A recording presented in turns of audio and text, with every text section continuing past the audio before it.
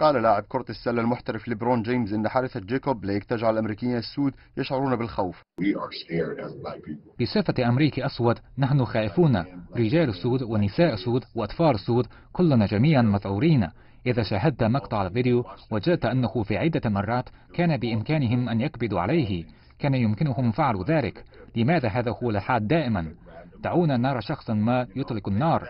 كانت عائلته وأطفاله هناك في وضح النهار. وفي اليوم نفسه قرر فريق كرة قدم في ديترويت إلغاء تدريباته احتجاجا على عنف الشرطة حيث قام مدرب الفريق ولاعبوه برفع شعارات مثل لن نسكت للتعبير عن الاحتجاج.